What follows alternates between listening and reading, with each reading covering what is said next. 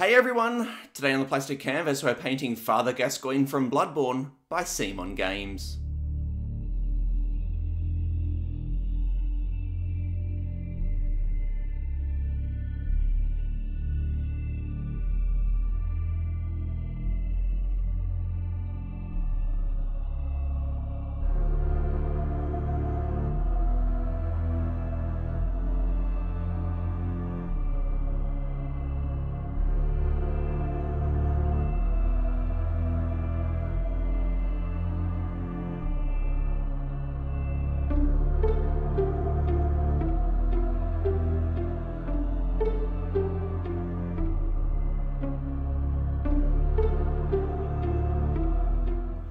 Hey everyone, Matt here from the Plastic Canvas and welcome to the fifth episode in this Bloodborne painting series and today we are painting Father Gascoigne. He is one of the enemies that you'll face in this adventure and exploration game from CMON Games. Now in the box there are two versions of Father Gascoigne, so there's the one here that you can see I've already started painting, and this is, I guess, like regular Father Gascoigne. And then there is also this one here that is the transformed Father Gascoigne. Now, we haven't really played Bloodborne too much yet, so we're not up to the point where this guy comes out, so I don't really know what happens in order for him to transform.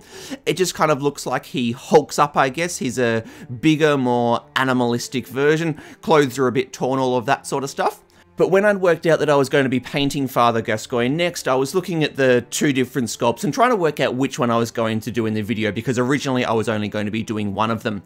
But then I thought, well, they do kind of go together because it is one character just in two different states.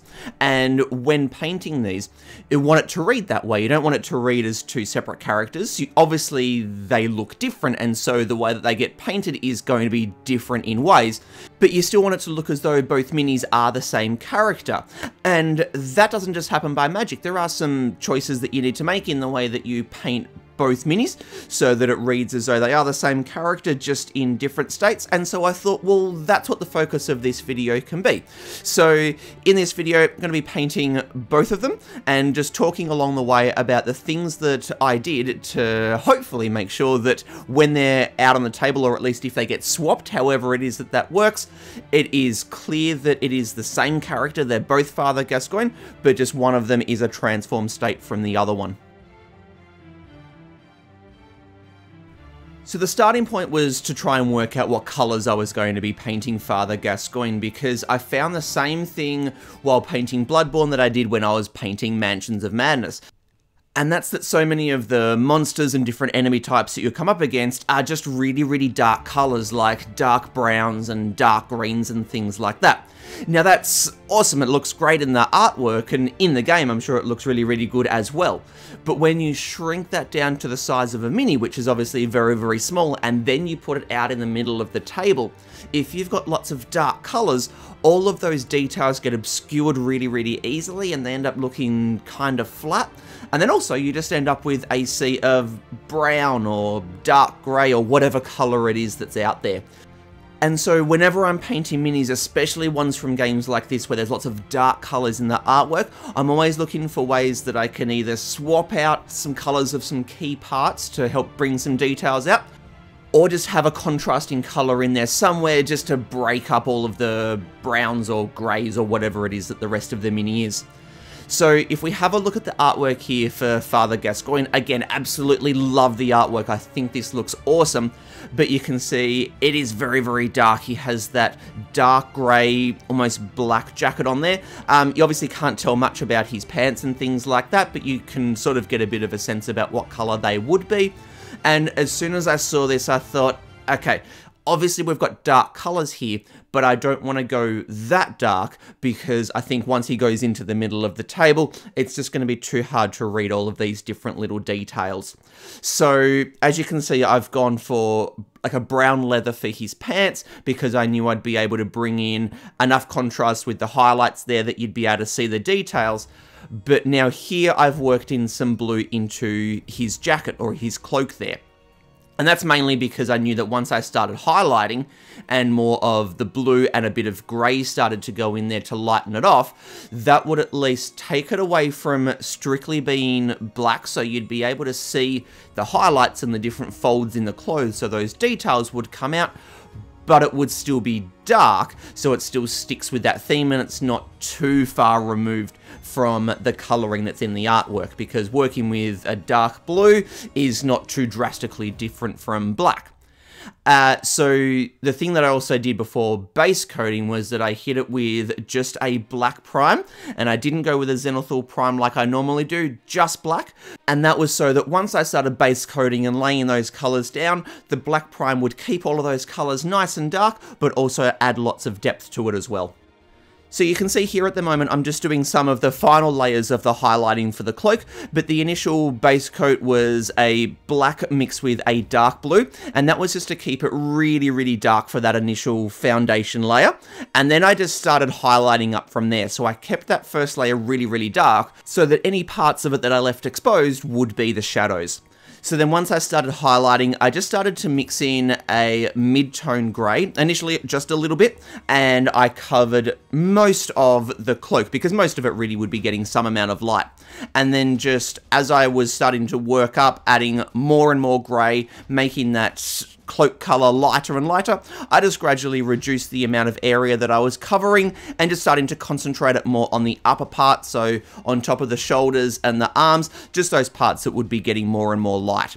So as I reduced the amount of surface area, just more grey got mixed in just to lighten it off until I was pretty much painting just the tops of his shoulders, the parts that would be getting hit by the most amount of light. And I didn't worry too much about getting super smooth blends because I wanted the cloak to look as though it had a textured finish to it. So normally I'd be feathering out the edge of each layer just to get a nice smooth blend back into the previous color, but I didn't do that so much here, just to give it a little bit of a rough look. Now earlier on I talked about how if I'm painting a mini with lots of dark colours, I try and find a way to work in some sort of contrasting colour just to make something stand out a little bit. And for Father Gascoigne, it was his scarfy thing going around his neck that I chose to do that with. So I just used a red for that because red I figure was a colour that matched still well enough. It wasn't too out there. It wasn't like a hot pink or something like that. But it was just different enough from the other colours around it that it does stand out. And now I am finally having my very first go at doing something that I've been meaning to do for a very, very long time, but I kept backing out of every time I had the chance to do it, and that is painting an axe or a sword in NMM or non-metallic metal. So using non-metallic paints to paint a surface to look as though it is made of metal. Now, this isn't my absolute first go at doing NMM in general because I did paint the red armor on the red guard from Jaws of the Lion in NMM, and in the lead up to painting that, I did watch a few videos because I knew how difficult NMM was supposed to be, and I found that to be really, really helpful, and so I did the same thing here. I watched a couple of videos on different people painting swords and axes just to get an idea of the basic approach, and more or less for my first go, just kind of did what other people have been doing. So I started with my lightest grey and I just blocked in those two spots where I wanted the reflections to be their brightest. And then I went to a black and a mix with a really, really dark grey to then block in the shadow parts of the reflections either side of that. And then from there, it essentially became a case of just gradually building up a blend or a nice smooth blend from that really, really dark grey black mix through to that light grey so that there was a nice transition from the shadow parts of the reflections through to the brightest parts. And as you can imagine, this is the part where I spent most of my time, the part that I found the most difficult by doing lots of back and forth. And I think the difficult part here is that because we are so familiar with looking at metallic objects, our eyes can just naturally tell if something looks right or not. And so, yeah, it was really, really difficult to just get it correct because even though I was able to achieve smooth blends, there was still just something about it that just wasn't quite right. And I'm still not exactly sure what it was, but I think it's just because I'm used to looking at metallic objects and this wasn't exactly how the reflections would work. I was just able to tell that it wasn't quite correct. I think also because I was so close to it, holding it, you know, just a sort of a few inches in front of my face, I was able to see all the little imperfections. Once it's in the middle of the table though, really, really happy with how it looks, but it was a lot of back and forth. Um, but here you can just see a picture of the different colors that I use, so you can get a sense of the range of colors that I was using while painting the axe. So you can see the black and the darkest grey there were what I built the shadow part of the reflection with. The lightest grey there was the highlight part of the reflection, I suppose. And then you've got them the, the in-between grey there as well. And I just gradually had less of the black and more of the lighter greys mixed in, just to gradually get that transition. And then then I finished it off with just a little bit of white just to really boost the contrast. And I think that's the real key when doing NMM is getting that really, really strong contrast. Because if you actually look at something that's made of metal, it seems to either be in like full reflection or full non-reflection. Although everything's being reflected, but it's either a super, super bright reflection or it's really, really dark. And there's very little transition in between. So that, that, that I found was the difficult part to replicate. But overall, especially considering that this is my very, very first go at it, super, super happy with how it looks, especially when he's out in the middle of the table.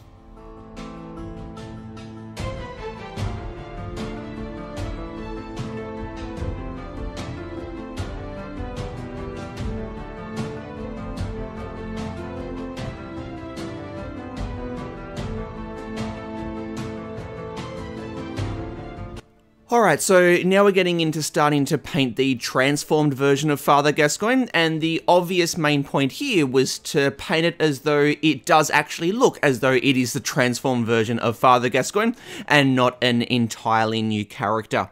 And so there weren't actually too many differences in how I painted this one compared to the other one, because all of the colours I wanted to keep the same so that it looked as though he was wearing the same clothes, but they were just ripped. But one of the early changes that I did make is just with the skin tone, I added more grey into it, just to make it look a little less warm, I suppose, than the other version of Father Gascoigne, because I figure sort of going through some sort of a transformation process, like he's kind of hulking up kind of, that it's going to just look a little less human, I suppose. So not too much of a shift, just enough though that it is a little bit different, and so it's not exactly the same as how it was with the other version. And yeah, so I just worked a little bit more grey in there, and then you can see I did put that Reikland flesh wash over the top, but I did thin it down a fair bit with the Lahmian medium just so that it didn't have too much of an effect. But the idea here was that it would pull around the bandages and in between the fingers and things like that and just create some shadows so that then I could come back to the base coat color that I used for the skin and just highlight up a little bit so that it brought the grey back into it. So it was obvious that there was a grey tinge to his skin. And then you can see here I'm now shifting to misty grey, a lighter grey just for some smaller, more subtle highlighting just on top of his nose, on top of his lips, on top of his thumbs, just those more upper facing parts of his skin, just to really reinforce the grey tone in his skin without having to really go through and highlight all the different areas. And yeah, so really that was kind of the main thing that I did differently. So his pants and his cloak and that are the same color. And we can see his hair more in this one because he doesn't have his hat anymore. And so I worked a bit more there doing some highlighting and shading on his hair, whereas that was very, very minimal with the other one. But yeah, beyond that though, everything sort of painted fairly similar because, like I've mentioned a couple of times, I want this to read as a transform version of the other Mini, not a totally new one, so I didn't want to make too many changes so from here, I'm just going to leave you to watch the rest of how I paint the transform version of Father Gascoigne, but I will just come and go when there are points to talk about where I make some slight differences between how I painted this one and the other one.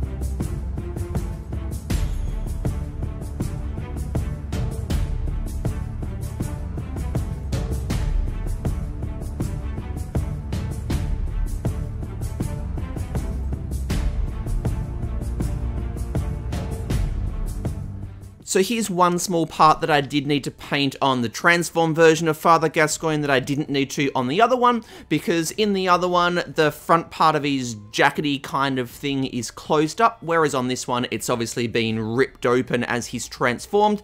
So just to keep it nice and simple, but just make it a little bit different, I just grabbed a general leather color, just my polished leather, painted that small part under there, and then just went over it with a brown wash just to add a little bit of shading and bring in the detail. So very, very simple, but it is just one part that I needed to paint on this one that I didn't need to paint on the other one.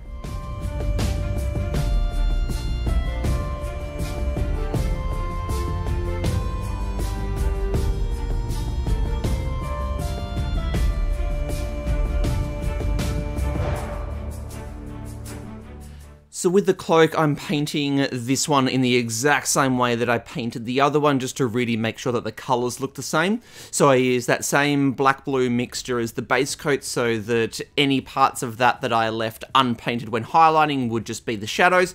And now for the highlighting, I'm just mixing in some grey, and each layer I just add in more and more grey to lighten it off, and then just reduce the surface area, just getting closer and closer to only painting the upper parts of each fold and his shoulders and those sorts of parts, just so that it makes it look like more light is hitting the top. But what I did make sure that I was doing here was I kept the other mini close by so that I could always be checking to make sure that the colours were looking correct so that the highlighted colours did look the same between the two sculpts.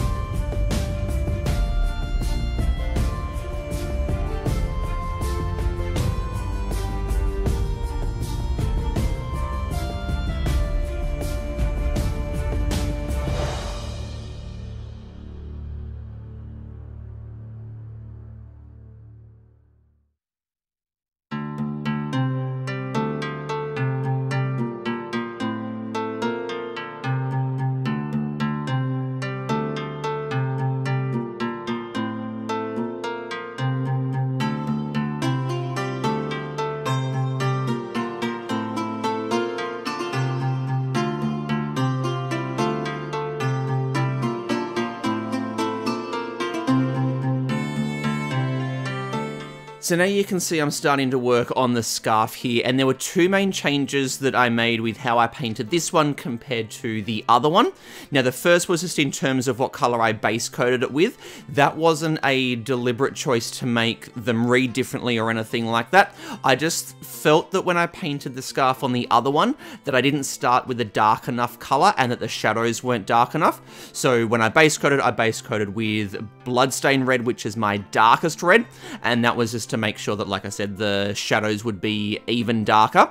But also what I did is I painted that part of it extending over the right part of his chest. Now, I think in terms of the actual sculpt, that is just part of his cloak and not his actual scarf. But I wanted to paint that part as part of his scarf because it made it look a little bit more torn and just a little less neat, I guess for lack of a better word. So in the regular form of Father Gascoigne, his scarf is quite neatly tied around his neck, but now that he's gone through whatever the transformation process is, his scarf has torn and now dangling down over his chest.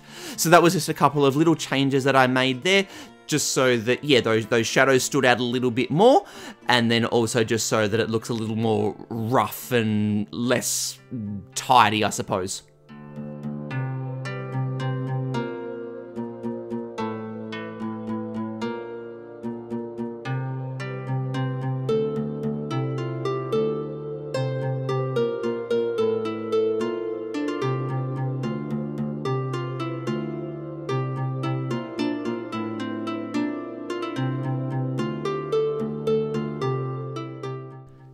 I'm into the highlighting process for his hair and beard, and this is obviously a part that I didn't need to paint on the other sculpt because his hat was covering up most of his hair. So I stuck with the same greys though, so base coated with that dark grey, then put a black wash over the top so that it would flow into all of the recesses, bring out those details a little bit more, and now I'm just highlighting up with some lighter greys just to make it look as though his hair is greying. But you can see I'm not covering the entire length of each each strand with these lighter greys. I want it to look as though he's in the process of going grey. And if you look at someone that is gradually going grey, their entire hair doesn't go grey all at the same time. And so I've tried to recreate that look here. So when I did the first stage of the highlighting after the black wash, where I just went back to the base coat grey, that, you know, I, I painted the entire length of every strand with that.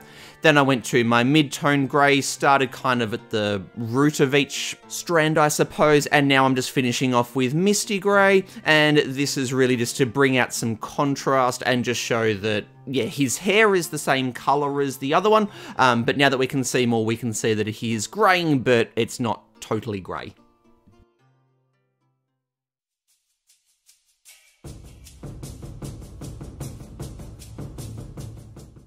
Alright, so at this point, both Father Gascoigne's are finished, but I did just want to trial repainting his cloak in a different technique that I've used that works really, really well if you want something to look dark and gritty and kind of almost dirty. And that's using washes over a zenithal undercoat. And I thought that might actually work really, really well for his cloak, because when I've used it for other minis, just the effect is really, really cool, and I just thought it might suit well here. So I just painted black straight back over the cloak, and then with grey, I just blocked in where all of the mid-tone highlights will end up being, and then now with white, this will be where all of the brightest highlights are going to be. And then effectively, I'm just going to take a black and blue mix of washes and then just put it straight over the top. And the idea here is that it will just more tint these undertones rather than completely cover them up. And so anywhere that it goes over the white, it's going to appear much, much lighter than anywhere it goes over the black, which should look like it's in shadow. Um, unfortunately, it just didn't really work. Um, you can see on the right, that's how it originally looked. On the left, definitely does not look as good. And so I didn't want to give up at that point because I know that this effect can look really, really cool. And so I gave it a second go. So you can see here I've covered it back up with this uh, zenithal undercoat. Here though, I more just dry brushed it rather than trying to build it up by blocking in the colors like I did before. And also I thought using the black in the wash mix earlier might have just made it too dark. So here I just used a straight blue. But again, it just didn't pan out. The original one on the right definitely looks better than the one on the left. But this effect can look really, really cool. Here are some other Bloodborne minis that I've used the exact same technique with nothing different. But I think the key difference here is that with these other ones, they have very textured surfaces like lots of fur on that sort of stuff. So there's lots of recesses for the washes to flow into, even with those zombies there, because they're quite small and so all of their muscles are quite defined. Again, the washes had nice recesses to flow into, whereas I think with this guy here, there's just too many flat surfaces and so it just didn't work. So there you go, I just repainted it in the exact same way that I did before and just left it there.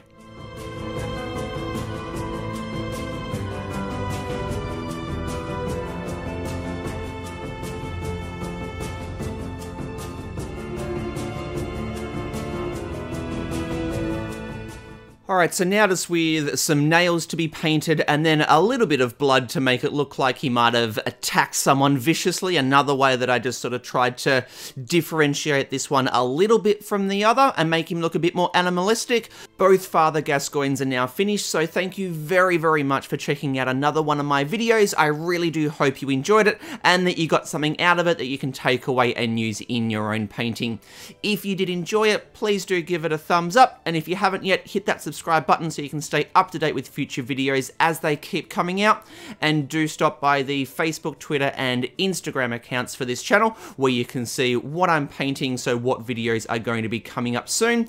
And if you do take anything out of my videos and use them in your own painting, please do take some shots and put them on Instagram or Twitter and tag me in them so that I can see how my videos are helping you. A bunch of you have been doing that recently and I love seeing that, so please keep doing that. But we're going to call that a day, so until next time, this is Matt from the Plastic Canvas signing out. Happy painting, everyone. Cheers.